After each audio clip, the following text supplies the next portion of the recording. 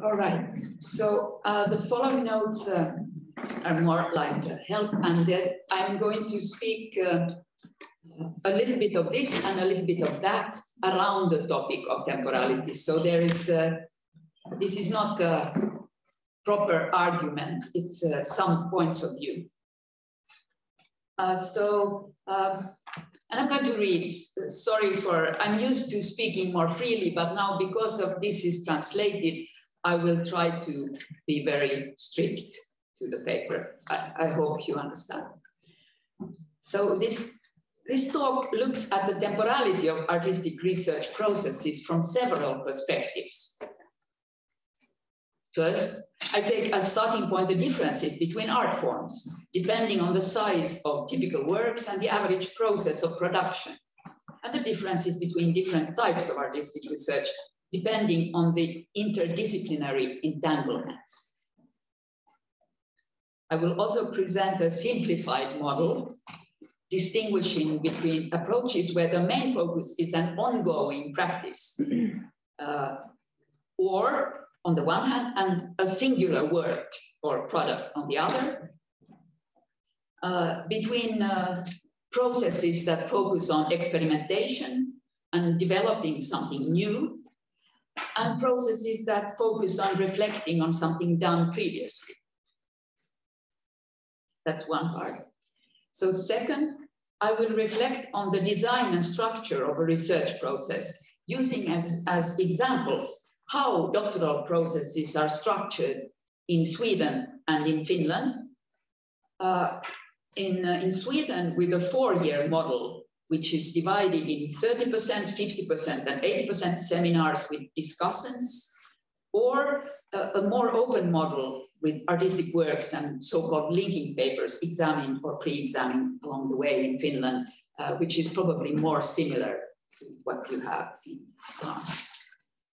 Thirdly, uh, I discussed the planning of a research process in terms of documentation and sharing, focusing on the importance of uh, uh documenting the process as well as the result.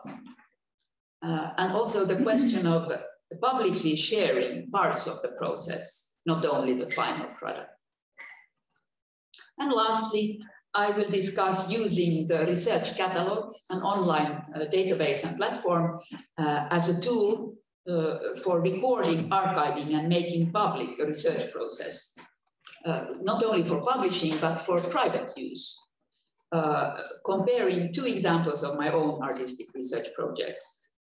Uh, one is called Performing with Plants uh, from 2017 to 2019. And the other one, which is ongoing, is called Meetings with Trees or Meetings with Remarkable and Unremarkable Trees. And they use, I use the research catalog in both, but, but in slightly different ways.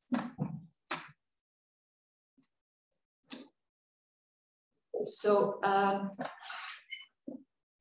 uh, on the topic of temporality, since uh, I have the possibility to be the first speaker, I, I feel the need, I have to somehow, well, it's a topic close to my heart, which will, you will understand when I show you my practice, but anyway, this is on a general level. So in a collection called Performance and Temporalization, Time Happens from 2015, the editors, Stuart Grant, uh, Jodie McNeilly, and Maeva Veerapen, sorry for the pronunciation, examine the temporality from many perspectives. And one of their main points is that time is not a given, but the result of processes like perception, measure, experience, and worlding. So time is the product of processes of temporalization. Time temporalizes, is temporalized. This was a quote from the, the first book mentioned here. Moreover, uh, performance allows for unique, embodied, in place experiential approaches and perspectives, uh, and to question the coming forth of time.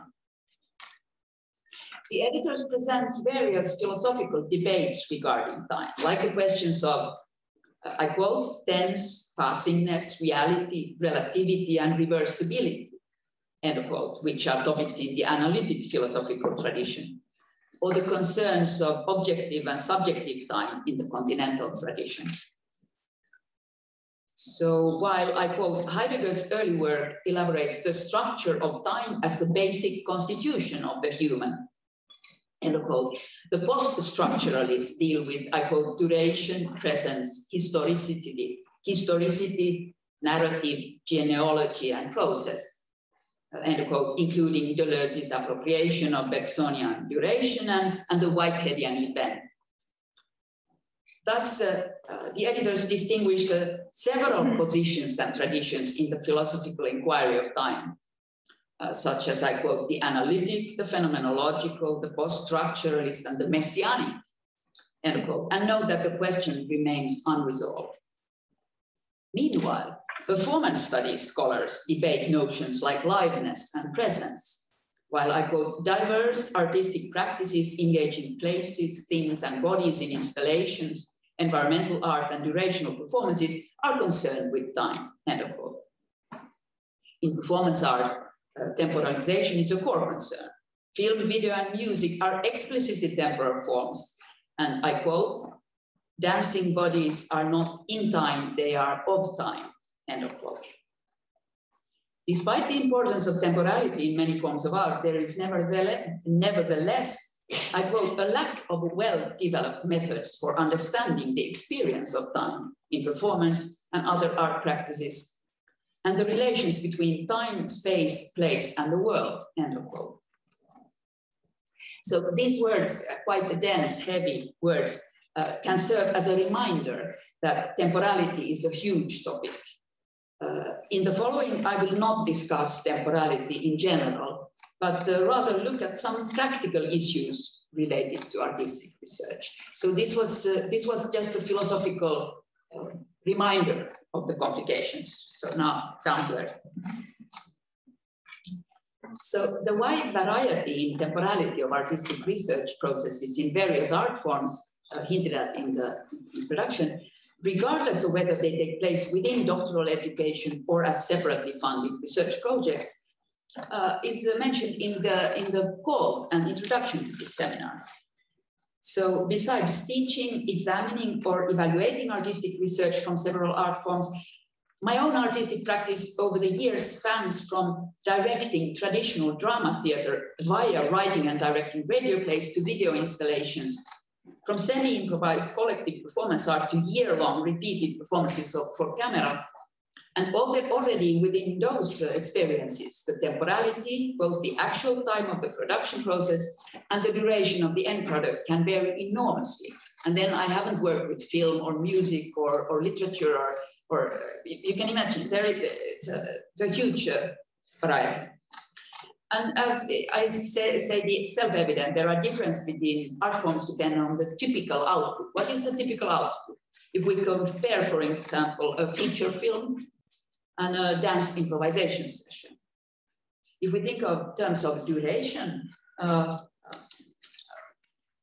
only we can imagine a feature film, an improvised dance performance, or a poetry reading to take about two hours to witness. So the, event can take two hours, but the production process leading to each of them is probably very different in temporal terms, depending on how we define the production process, of course. Because if learning and preparation uh, are counted in, uh, they do not necessarily differ that much. Even if we think that the film project will take five years to make, but uh, it, it, will take more than five years to, to learn to become a dance improviser and so on. However, temporality is often, though not always, linked to production costs and to the amount of people involved in the work. While rehearsing a theater play, at least in the 1980s, could take two to three months, a radio play was usually recorded in a week or two, uh, with the most work done in the editing phase. One of the reasons I moved from theater via radio work to making simple solo performances for video camera was exactly to avoid the heaviness of a full production process. My aim was not necessarily to enable more flexibility in terms of research, although that benefit came as a side effect.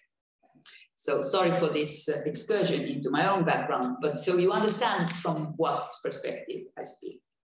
So thinking of various art forms in terms of artistic research It is good to remember that the changes required of an artist in transforming their ordinary working process into a research process, in transforming their artistic practice into a research method or tool, can be very different in different fields. And the difficulties relate to different aspects. In many cases, it is hard to combine a commercial or professional production with research, and therefore some structural rethinking. For example, in terms of sketches or variations or etudes or however you want to think of them might be a good idea. Some artists resist such changes and insist on working as they have done before. Often research uh, requires more time, however, and the possibility to change course in the middle of the process, which is rarely possible in large productions, uh, would be helpful in research. Temporality is probably involved in most problems, but it's rarely an isolated phenomenon. So temporality is related to everything, even though we don't highlight it. In my own doctoral work uh, ages ago, uh, I made a series of performances based on the same play as variations of sorts as the basic research. But at that time, uh, more than 20 years ago, it was important uh, also to have high quality artistic output, as it was called. So I included big productions too, even though they were not really research, they were results of the research. Planning a large artistic production and a research process to take place at the same time is perhaps not the best possible solution. The discourse has changed.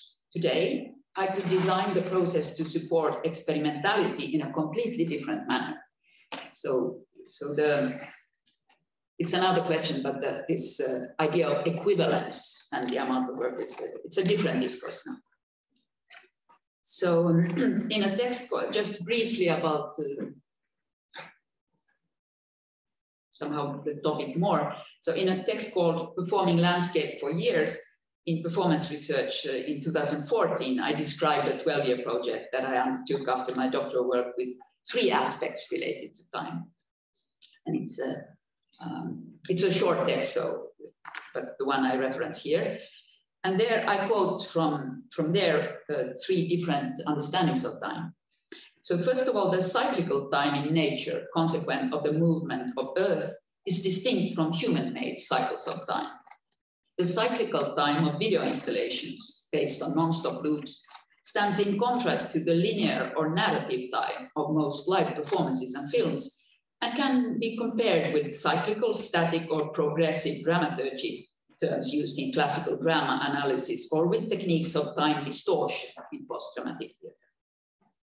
Secondly, the duration of production and the duration of consumption do not coincide in performances for the camera. The performer's experience of duration differs from the viewer's experience of duration watching the video work. A single duration of production like one recording, can be transformed into various dura durations of consumption by editing. This is self-evident. And the third uh, point, repetition rather than continuity can produce an experience of extended duration. This is something I've explored in, tried to explore in my own work. If moments of time are repeated continually, and uh, an illusion of real time can be produced for the viewer, which is of course unlike the shared experience of duration in real-time aesthetics used in classical performance art, but still a form of continuation. So repetition becomes duration in the experience of the performer over time. And it produces a form of refrain, uh, even an existential refrain. I quote Deleuze and Guattari there. Uh, end of quote. This was from 2000, uh, something I wrote in 2014, just a side. But at the end of that text, I noted by way of conclusion, one more quote. The contrast between a comforting cyclical time and the inevitable irreversibility of linear time is actualized at the end of a cycle. At the end of this 12-year process, after literally uh, performing landscape for years, I asked myself, what have I learned about time? And my main observation is embarrassingly trivial. Time takes place through constant change in cycles of various duration, but you do not notice the transformations without attending to the seemingly static elements, the repetitions. So in uh, the, the, repetition or the, keeping some things constant is needed so that we can see what is changing. Okay, these aspects of temporality are of course specific for that project. So another account of the same project based on revisits to the site of the first year and blog notes related to, the, to them is available online. It's the second one that I'm, I'm here listing. And uh, so artistic research exists in many forms and even the same project can be looked at and recounted in many ways. So the two examples I have listed here on my own text are describing the same process or same 12-year project from with very different techniques. So um, please, if, if I'm if I'm somehow incomprehensible or, or, or muddy or something, wave and, and I repeat because it, it's no point I speak here and you fall asleep. So, so please. Uh, speculative practice. Um, now, the names I list here are just because I quote them. They're, they're not because they're especially important. I just mention them, so that's why I, I list them. Well, Melkins and, well, maybe they are, at least Elkins and, and are very important. But anyway, surprisingly, there are very few typologies created around artistic research. Most categorizations concern the various relationships of art and research often assuming a dichotomy between art and research, uh, like uh, the three configurations of the studio art PhDs by Elkins, or then creating a third zone between art and research, like uh, Biggs and Karlsson do, or speaking of some form of boundary work, as Henk Borgdorff does, uh, boundary work between art and research or art and academia. Uh, or then uh, some people suggest various combinations like uh, Keinonen does. So research interpreting art, art interpreting research, art placed in a research context, research placed in an art context, art contributing to research, research contributing to art, and so on. And research here meant in the scientific sense of the word, not artistic creation. Other typologies relate to the methodology in a more general sense, uh, adding a third dimension um, to research. For instance, there is the distinction you might have, uh, be familiar with between quantitative and qualitative approaches to research used in social sciences. And, and addition to these uh, are suggested such as performative research, uh, which has been suggested by Brad Haseman in Australia, or arts-based research um, or conceptual research. So for, for example, uh, Patricia Leavy speaks of art-based research in the, in the Elliot Eisner tradition. Um, and uh, Smith and Deans add conceptual research as a third uh, type next to, to qualitative and quantitative approaches. Often artistic, I, I can't go into the details here, but, but if you're interested, I, I there are many uh, books I can refer to, and I've even written about those types more myself. But, but um, often I think artistic research appears to find contact points with the philosophical study. Of course, it's only one type of artistic research, but uh, often, and to share its speculative freedom, despite inevitably also having an empirical practical dimension. So artistic research is also empirical and practical besides being philosophical.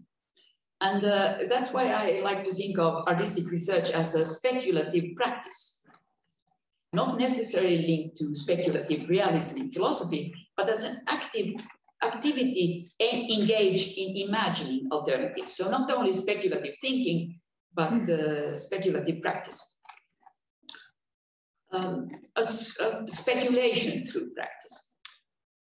Uh, many different forms of artistic research could be called speculative practices.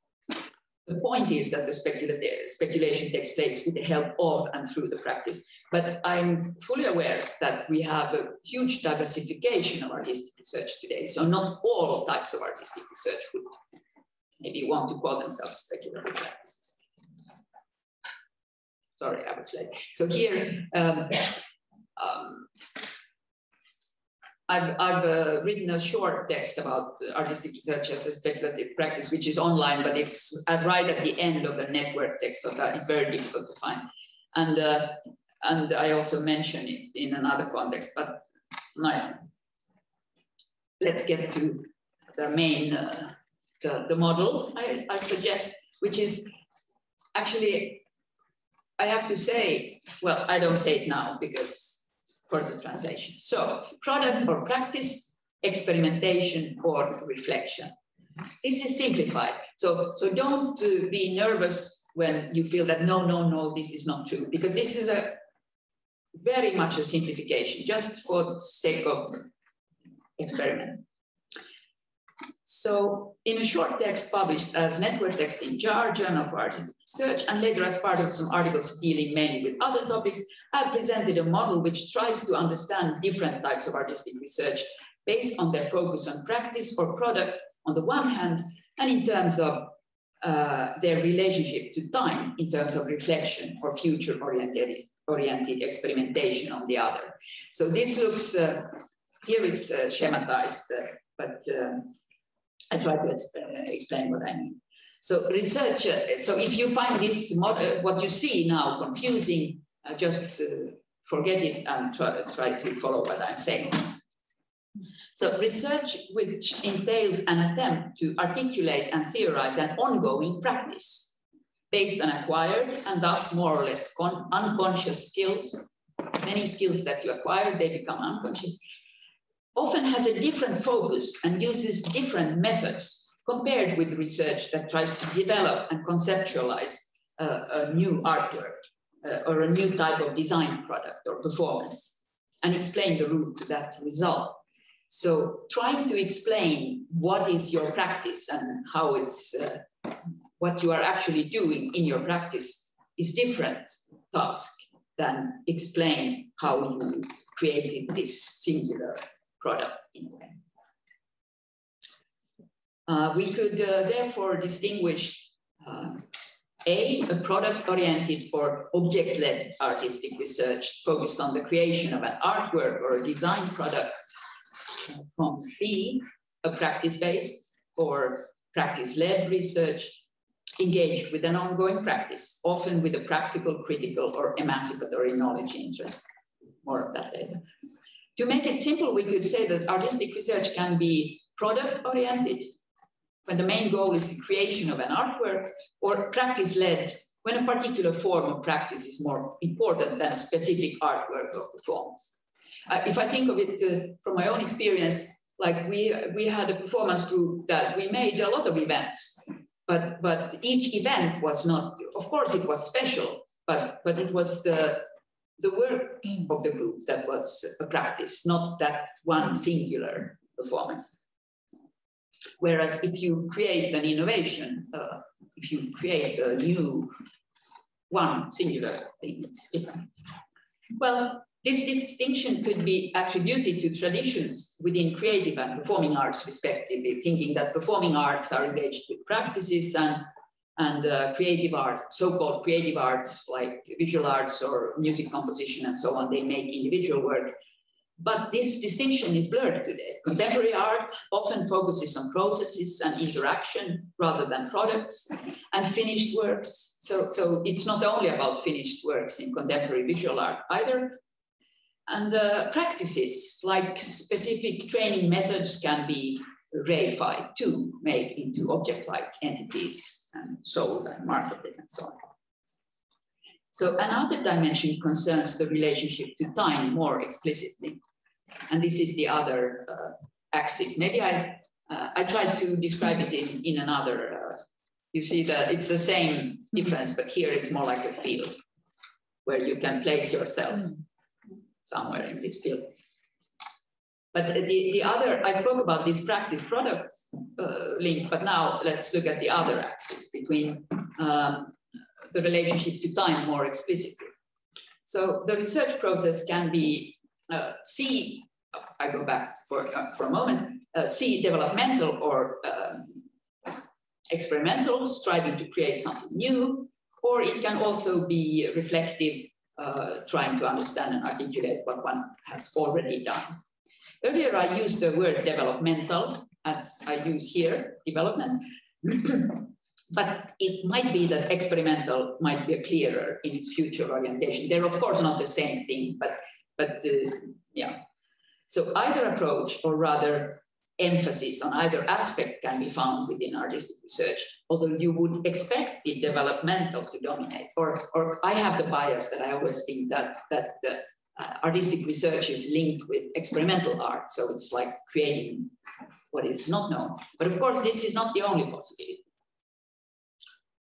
And uh, for, um, yeah, for like me, for me, many, for many proponents of of uh, artistic research, exper experimental art and artistic research are closely related. What is experimental is then another question.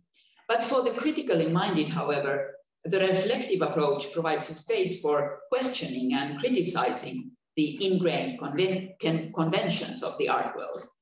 So, so it's a, the, the critical possibility is in the reflective approach, uh, or then for the more conservatively inclined, it offers an opportunity to formulate and document tacit knowledge, the so-called silent knowledge, which you're not aware of, uh, to, to try to articulate that and to articulate methods within an existing tradition. There is surprisingly many areas within arts where there is uh, lack of uh, articulated tradition. Tradition is transmitted from person to person. Well, so as I said, we can form a classical field for combining these four aspects, product-oriented and experimental, practice-led and experimental, product-oriented and reflective, practice-led and reflective, as I did here, but just with the words. And creating this kind of typology can seem like a useless habit borrowed from social sciences, but it could be clarifying if we remember that most cases of artistic research include all these aspects in some degree. As generic examples, we could imagine a research project aiming at developing a technological innovation, which would be product-oriented and developmental or experimental, or a new method, then it would be practice-led and developmental, experimental, or a research project trying to understand the responses to an artwork or performance, which would be product-oriented and reflective, or another one criticizing a traditional teaching technique, which would be practice-led and reflective. In real life, clear-cut examples are hard to find. Uh, nearly all research projects, for instance, include a reflective or backward-looking component simply because they are reported.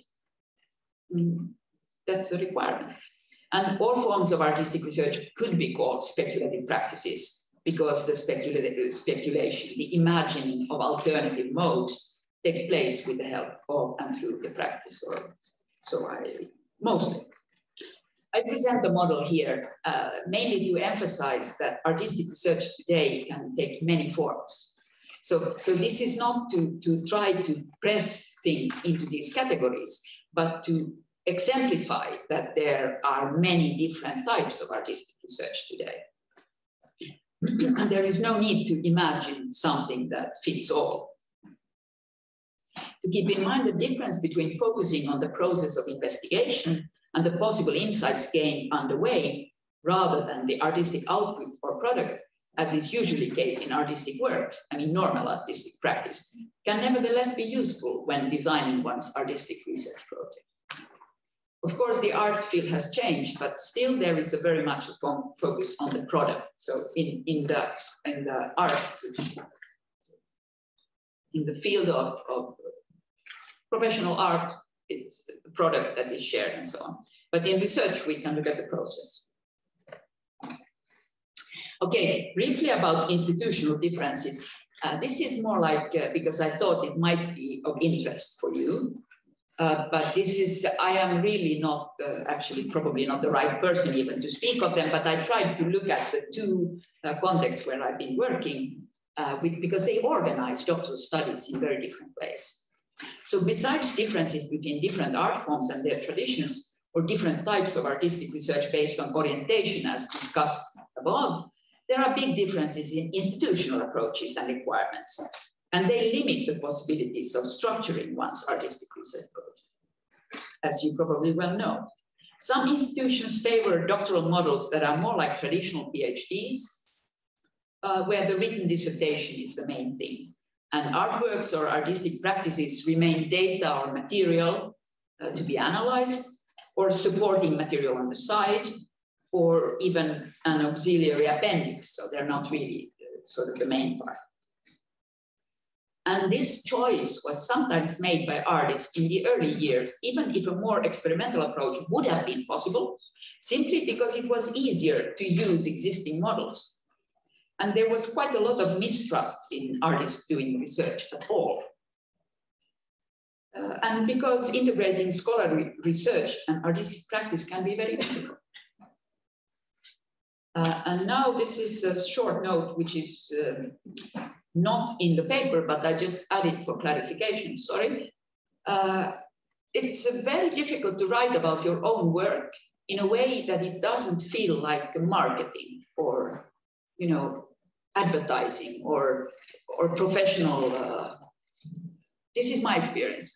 So, so how do you speak critically about your own work without then diminishing it? Mm to the, we can discuss this later. So, so that's one of the difficulties in speaking about your own work. There are other difficulties too. But back to the institutions, which I have listed the links here, but um, uh, is actually, I'd have to say, KTH is uh, Kungliga Tekniska Högskolan. It's, it's um, technological university. I just took, they had a good explanation, so I took it from there. Uh, so um, there are institutions that favor doctoral models where the artistic component is emphasized, as was the early model in Sibelius Academy in Finland. Sibelius Academy is the music academy, where an artistic doctorate was seen as an equivalent to a PhD, a show of mastery or artistic excellence, and had nothing to do with research at all. It was almost actually the opposite. Today, what is often called the Nordic model of artistic research, with Norway as a prominent example, is stressing the importance of high quality artworks and emphasizes knowledge production on artistic grounds, but nevertheless insists on research, on artistic contributions to knowledge, and also that the research should benefit the artistic field in question, as well as uh, strong ties to professional fields. So, so artistic research is not something done for the academia. Artistic research is something it's a knowledge production for the art field in question. The emphasis between artwork and written component or between theoretical and practical aspects can shift depending on uh, developments in the field in question, even within one university. An important, uh, one important uh, factor is whether the institution or art school has university status or not or whether they have to collaborate with an existing university, as some art schools did in the beginning. One reason Finland was so early in developing artistic research was the university status granted to the major art schools already in the 1970s. That meant that the institutions could decide themselves how they wanted to structure their doctoral studies. This right uh, was officially granted to Stockholm University of the Arts when it was established in 2014 only as a collaboration between several old art schools. Of course, in Sweden, other universities have had doctoral education for a very long time, like Gothenburg and Malmö and so on. But, but nevertheless, so it's a, it's a huge difference. And uh, of course, doctoral processes in artistic research mostly follow the general principles of doctoral work in each country. And this explains most of the differences between the two, two universities of the arts that I have worked in, in Helsinki and in Stockholm. It's the Swedish model, which is, I think, is quite interesting, and I find it rather strange myself, has a four-year salary position. So the doctoral candidates are hired for four years with a salary, and uh, it's a time limit of four years, and the process is divided into uh, three public seminars before the final defense, which is the 30% seminar, the 50% seminar, and the 80% seminar. Instead of saying there is a seminar at the end of the first year, the second year, and the third year, it's, it's uh, conceived of in percentages of the final work. So it's like if you think of it, if you would think of it as a written dissertation, it's how big part of the work is done. And uh, I think it's quite uh, it sounds very limited and strict, um, but uh, it's quite interesting model. But there, uh, uh, yeah, uh, there, this is called the doctoral ladder. And it's described in uh, one study handbook from the KTH, the Royal Institute of Technology. And I quote from there. Please excuse me if this is convoluted language. But this is exactly. The salary for students is regulated by the doctoral ladder, doktorandstege. There are four defined levels in the doctoral ladder, and these are negotiated annually between the union and the university. Step one in the agreement is the starting salary. Advancement to higher levels is normally approved when the 30, 50, and 80% of the planned study has been completed. According to the milestones specified uh, in the electronic individual study plan, Advancement assumes that the doctoral student has performed according to the time plan presented in the plan. It is important to remember that circumstances differ by project and individual, and thus planning and performance goals must be individually adapted. Okay, end of quote. So the 30% startup seminar with the outside discussant or conversation partner or opponent, or how do you want to call it, it's uh, equivalent of 20 credits and it's about 10 to 15 months full-time work. The 50% midterm seminar with the discussant focusing on progress to date and work remaining. It's about 40 credits and it's uh, at the time of about 22 to 26 months full-time work and the 80% final seminar with an external discussant as well and with a focus on remaining steps to complete completion. What more does have, has to be done before the final defense, which is 50 to 60 credits, it's about 36 to 40 months full-time work.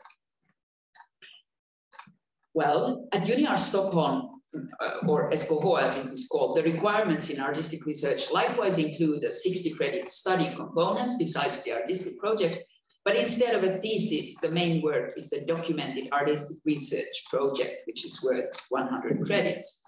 And uh, in the study guide, the pros and seminars, the, the doctoral ladder is not specified, but the ladder is usually followed in practice. So people organize their, their seminars accordingly. And I remember uh, one uh, colleague who or made your it, this and organized a 68.5% seminar. But, but still, the, the, the, steps are useful. At UniArts Helsinki, the doctoral positions uh, are very different. They're not, no, there's no salaries. It's not a paid position. And students apply for grants from outside sources. And there is no equivalent to the ladder time-wise either. The structure of the doctoral studies differ between the academies. So in performing arts, in fine arts, and in music, they're different. In performing arts, the scope of the doctoral program is 240 credits, and the doctoral research itself is worth 180 credits, and the supporting studies uh, that are mainly carried out during the first two years of studying are worth 60 credits. The doctoral dissertation includes one to three artistic components, uh, which will be pre-examined and a written commentary. This is the performing arts. In fine art, the requirements are rather similar. Typical a doctoral thesis uh, project consists of one or several visual art components, a maximum of total 140 credits, as well as a written component.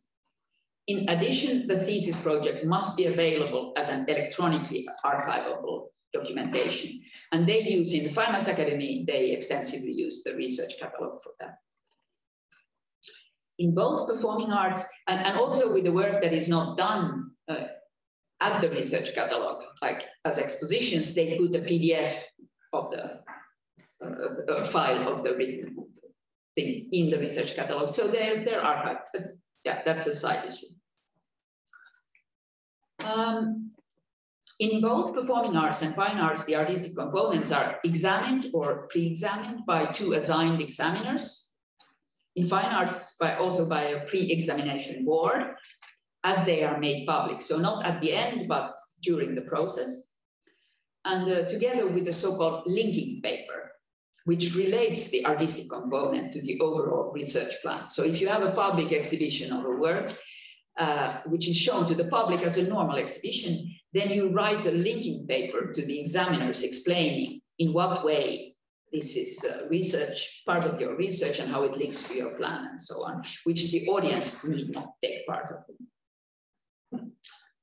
Um, in music, uh, doctoral education is divided into three programs with a different emphasis, and that reflects the old dichotomies.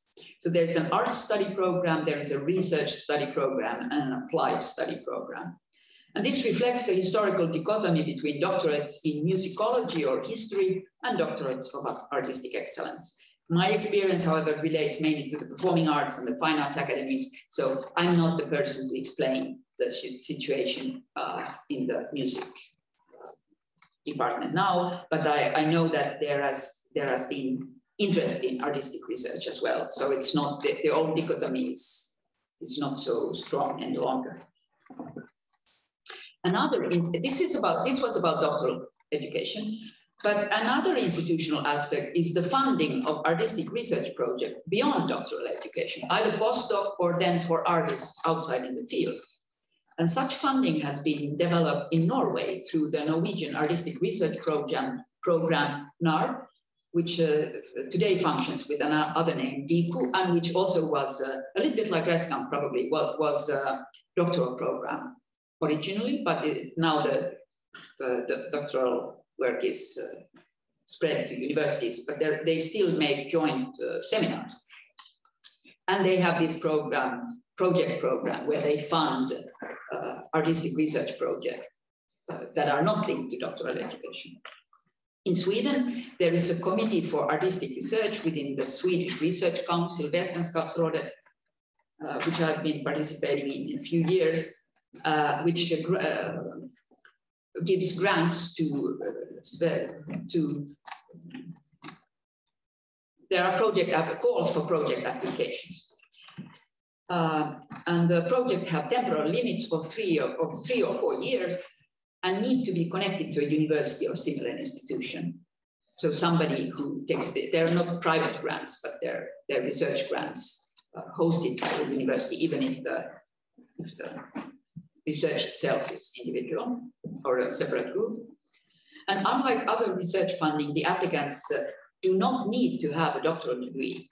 And these grants have often included experimental art projects rather than formal research.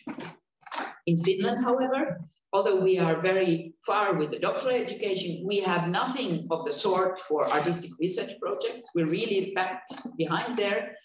Uh, mainly private foundations support artistic research uh, projects like Kone Foundation, uh, while artistic research can be part of larger research projects funded by Academy of Finland. So, so the how to do things with performance that was mentioned in the beginning, it was uh, Academy of Finland funded research project, but it was only part of it was artistic research.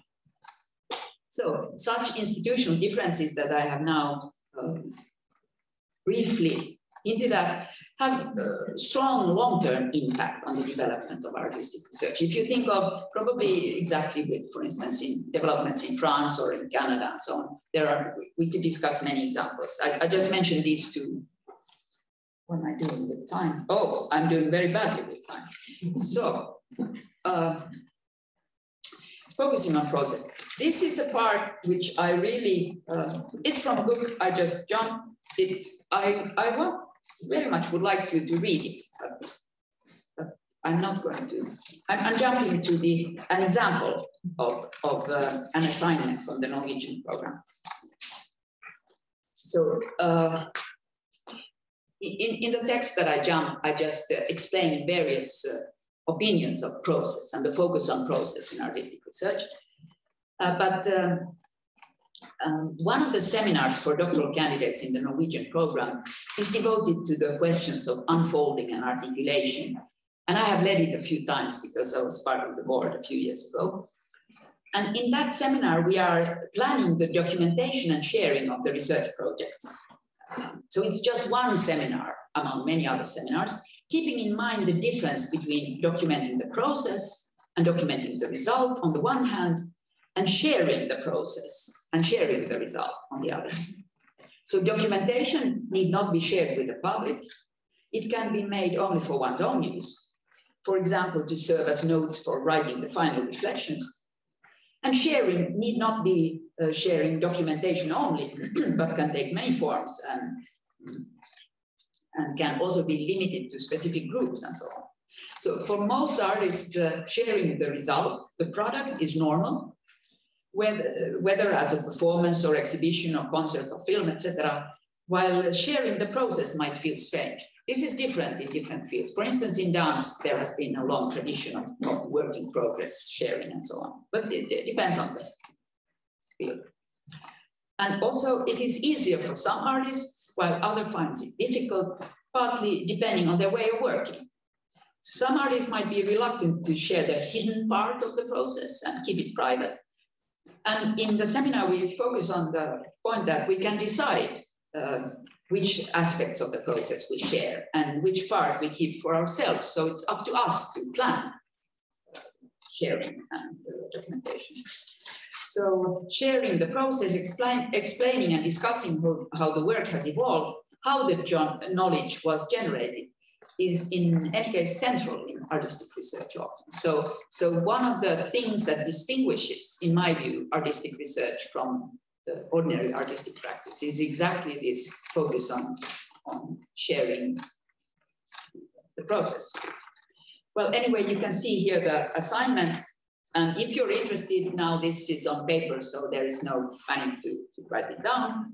But the, the, the, assignment is to it's exactly to distinguish, to, to create a plan in two parts, where one plan is for sharing the artistic research process, and the other plan is for documenting the artistic research process. What, what uh, because, uh, uh, yeah, uh, what are the techniques you want to use, how regularly, and, and, and, so on. It's, it's, uh, it's not self-evident. Uh, well, so in discussing, I'm not repeating now the assignment in the interest of time, but in discussing the various approaches that doctoral candidates use when considering the assignment, when they create these draft plans in relation to their artistic practice and the artistic research project they are embarking on, we have noted, among other things, the importance of designing the research process in the first place and of thinking of possible nodes or turning points in advance, as well as planning what is made public and shared with whom and when. So you could say that research is uh, diving into the unknown. How can I plan it?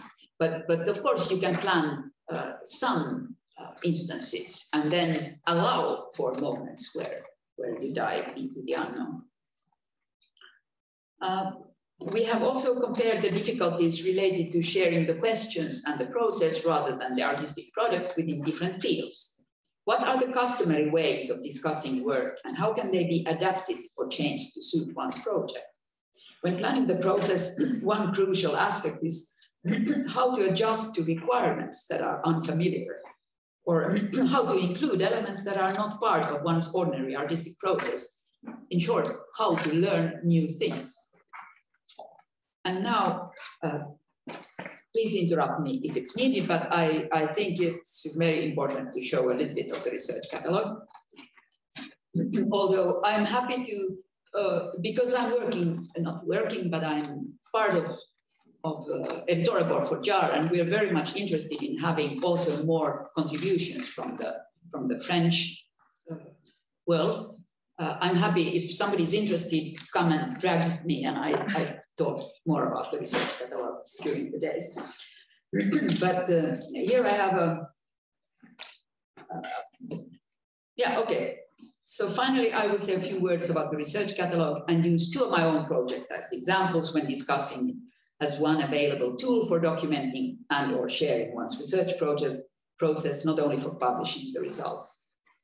And the research catalog, if you're not familiar with it, is an international searchable online database and publishing platform for artistic research, which is free to use for individual artists and researchers. You have to register, but at the same time as it is the uh, publishing platform for several online journals, um, first among them the Journal for Artistic Research, JAR, but also there are others like the Ruukku, which is published in Finland, or VIS, which is a joint publication by, by Stockholm and, and Norway.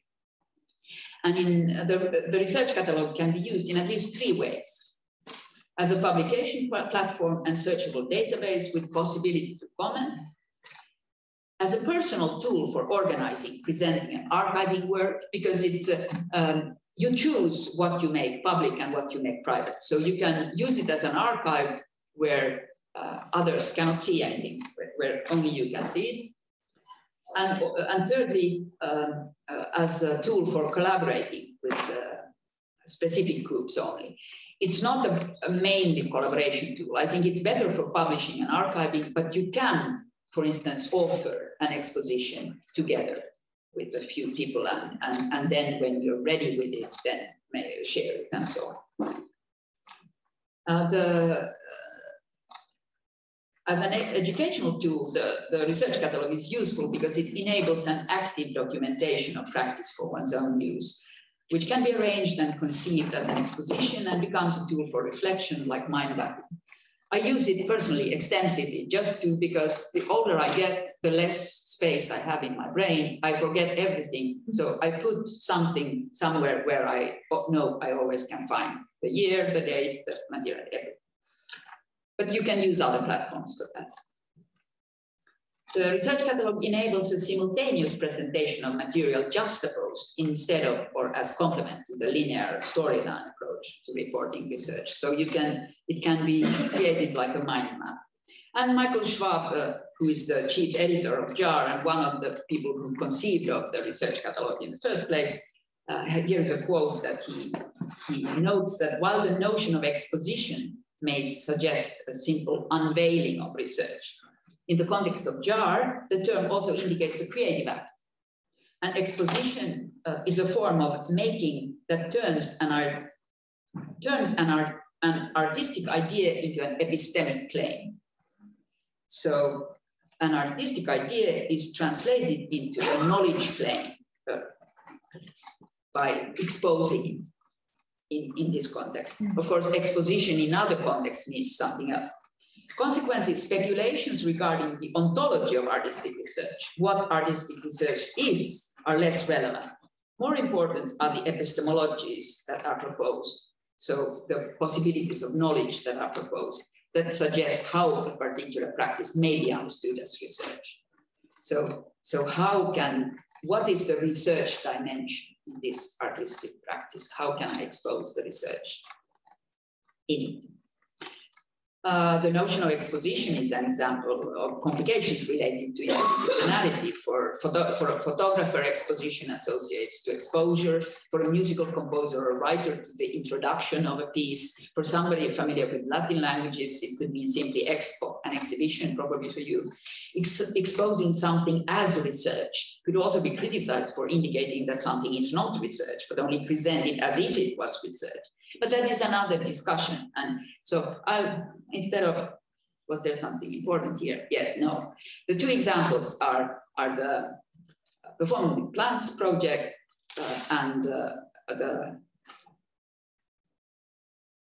yes, the, the meetings uh, with remarkable and unremarkable trees project.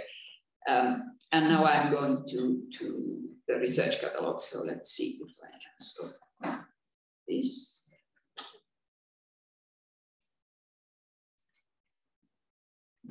And find if I'm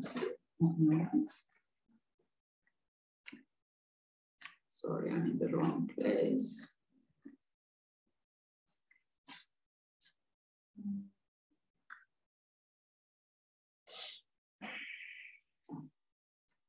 I thought I had it ready here, but no. So this is one example, an, an exposition of a, one project on the timeline. And it's, a, it's based on the idea of a timeline. So, so here is the navigation you can see up there. Here is the model, it's huge. So when I began, I put here the, the application, formal application, and then uh, I started to make a timeline and some previous, it's a bilingual, some previous uh, publications, some experiments in, in Stockholm uh, like uh, these are still images and they link to my blog page and so on. But the main, uh, the main structural log logic was that, that I add things as they as I start something. So, so there would be now, if this would be during this project, I would add at the moment in time presented at ResCan in Grenoble. And of course, this is not, uh, it's, a, it's an archive, but it's, uh, it's not very, yeah, it looks a little bit messy, although it's very tightly timeline. In the 2018, for instance, I started, uh, uh, so all the, all the, all the projects are linked as uh, separate. Now it takes time for the images to load. But this is, for instance, a time-lapse video I work with, which I then documented every time I, like the same day or the day after, I put still images here and wrote something on the blog. And so it's uh, like accumulation. But it's uh, this is like one page linked to from the timeline. And it took for the whole year. Important to put back to uh, let's see if this works. So it, and at the end of this long, long, long timeline where this is all publicly available and it was publicly available from the beginning, it would not have to have been. I could have made it private and published it only at the very end, but I prefer to share the process publicly. And I'm, I'm not saying it's ideal, it's typical for me, but, uh, but at the very end, then here is the book um, at the very end, publications and other public output are listed on a separate page here. So here I made a selection of the main output for the report and for the, this was funded by the Swedish Research Council. So the, and, and some things came later, so I added it here and so uh, so the other example, just briefly, which I'm now working because because this timeline structure uh, was I wasn't so happy with it. It's visually not so. Uh, you could make it more beautiful, but but the, but I wanted to try something that was not uh, structured based on time, but actually uh, structured based on individual trees. So so this structure is uh, more boxes, more portfolio-like. But here I also use the timeline in the sense of it, I began with these boxes, but then to when the trees were quite a few, I decided that I add them to the right always. So, and, and it's not like uh, some pages, these go all to, to um, this is like one tree in the same way in Öre for one month, just every day practice. But, uh, but most of these pages are not, they're actually some residency place, some city, uh, some event, uh, which is the last one. Let's see. Uh, oh no, but this is, uh, this is a day with a pine.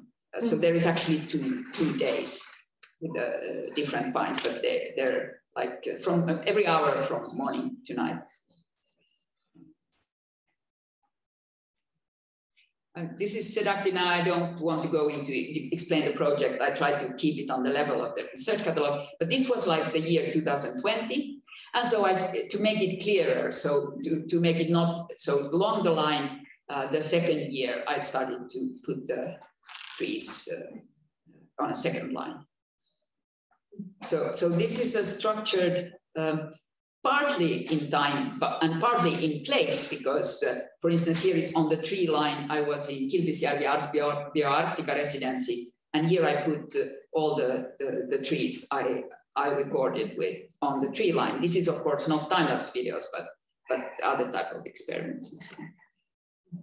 And in this uh, version, I also add uh, presentations or lectures and uh, publications, so far only one, in and uh, works in exhibitions on separate.